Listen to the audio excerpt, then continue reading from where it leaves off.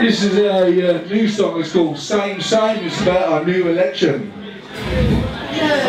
Remember this? Remember this? Oh, yeah, blue. Well, that